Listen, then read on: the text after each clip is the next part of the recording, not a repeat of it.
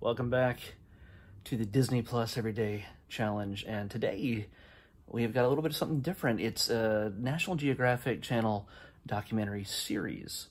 Uh, it's, it's a, okay, it's a reality TV kind of thing. Uh, but it's set in the Yukon in Canada. Uh, cold as anything and lots and lots of wild animals. Dr. Oakley, Yukon vet, is there to take care of them. So uh, basically, it's a six seasons so far. I guess I'm not sure if it's continuing after that. They're short seasons. They're about uh, the first one's six episodes, and the second one's ten, and the rest are eight. So it, it evens out to an average of eight episodes per season. And uh, basically, you get to follow Michelle uh, Michelle Oakley uh, around uh, some of the more desolate but honestly gorgeous Yukon territory uh, up in Canada. Get to see uh, a number of wild animals, some domesticated as well, uh, as she takes care of them in her veterinary office that's uh, attached part of her home, attached to her home. Uh, but she also goes out and calls. And if you're into, you know, you're an animal lover and you're not squeamish at all about some of the more medical procedures on on animals, uh, yeah, this, this, is the kind of thing to, to, to watch. It's it was, fascinating, uh, gorgeous gorgeous scenery, uh, wonderful animals, uh, and the Michelle and her family uh, are featured in it uh, as well. Not just her going out and calls, but her family as well. Got, she's got a cute family who uh, who's just each get their own little tiny spotlight here and there, but I watched the pilot and I actually watched the final episode of season six. So I kind of bracketed, you know, to see, you know, how, if, if anything had changed between those two episodes.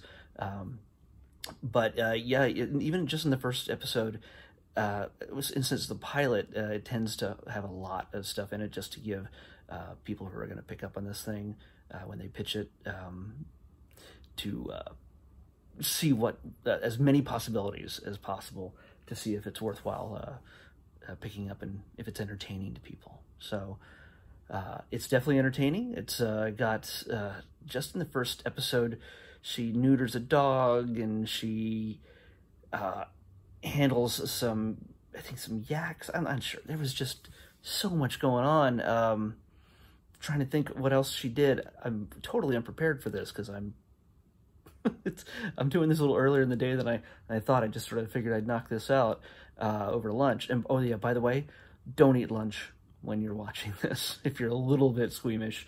Uh, oh, uh, she uh, the very first thing she did was take care of some some huskies, uh, some sled dogs, and uh, she had to give them their vaccinations. Twenty six of them at one time.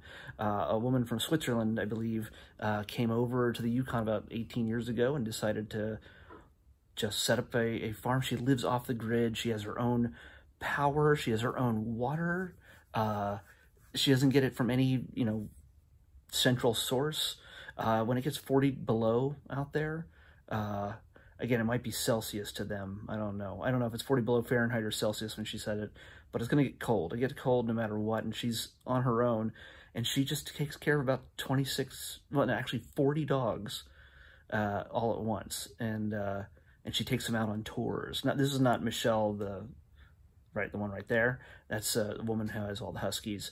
Uh, she gives uh, dog sled tours. Well, Michelle, right there, is in charge of coming by every so often and giving them vaccinations and making sure their their well being is you know up to up to par. And uh, in the first episode, so she gives she wrestles a number of them into getting vaccinations all at once. They're very excitable dogs, but you learn a little bit about huskies and their two layers of fur and everything else that keeps them warm. And uh, so, yeah, it's a it's you get to learn a little bit of something because obviously it's National Geographic Channel. It's educational, but it's fun. Um, she also had a return to well, the woman with many dogs. The huskies actually brought one in later in the episode because he decided to play with a porcupine. And that's one of the things I just could not look at the TV during because his face is just filled with porcupine needles. And by the time they finished pulling everything out, there was about 300 of them. And if they had broken off or gotten too far in, it could have caused all sorts of problems. So this is the kind of adventures she has to, to face on a regular basis.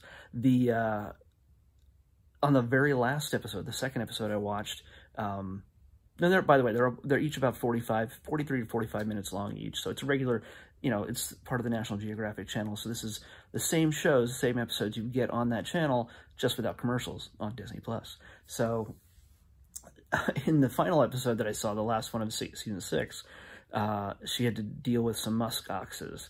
And I got to see something I never really wanted to see, as a man especially. I got to see her uh, castrating two musk oxen.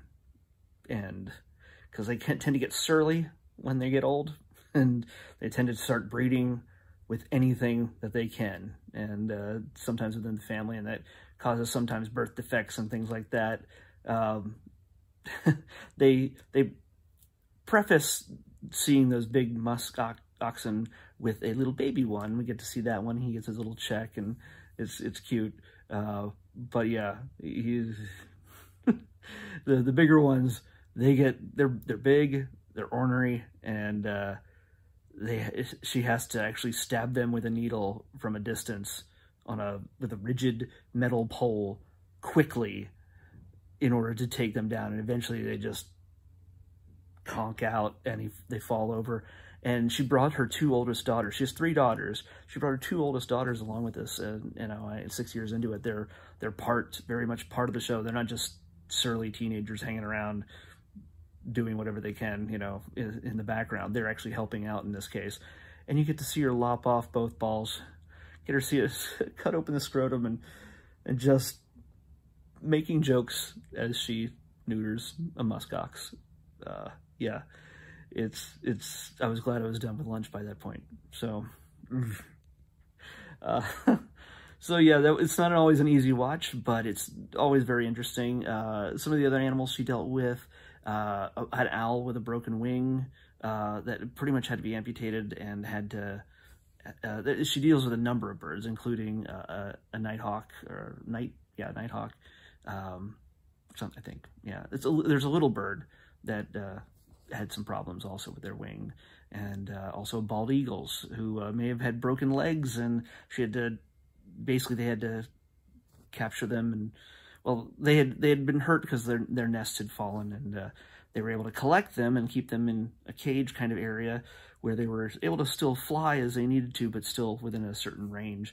And uh, they were able to bring them into the doctor and x-ray them and find out if they had broken legs or not, if they could ever be free again. So there's a, there's a, she, they, they start some of the episodes off with that kind of thing. Then they, they go off to a different story, different animal and they often come back and you, you see the rest of the story. So it, it's structured pretty well. So it's a, it makes it for a, an interesting watch.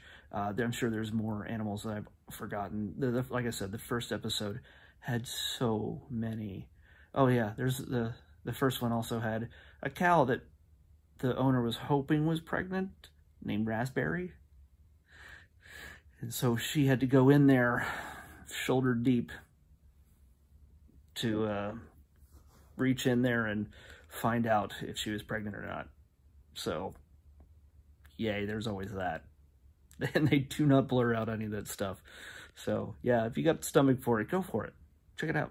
Uh, that's uh, Dr. Oakley Yukon Vet on Disney Plus. It's part of the Net, Net Geo uh, collection of uh, series. So, uh, now's the time to pick the next episode. Let's go. All right. Let's generate. There's one for you. Yesterday's number. 629. Ooh, one of the higher level ones. 629 might still be in the thes or beyond the T's. Who knows? I know the 500s are mostly the, the T's. I said 629, right? Yes. Oh, we got another, looks like a series. It's Red. I, I thought yesterday was just a documentary, but it's a, Red, I think, is series. We'll see. But anyway, 629 is the Living Desert.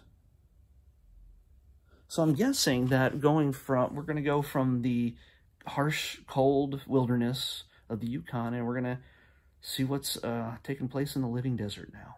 So we haven't had uh, a lot of these in the past, so here's our chance to here's our chance to uh, two in a row.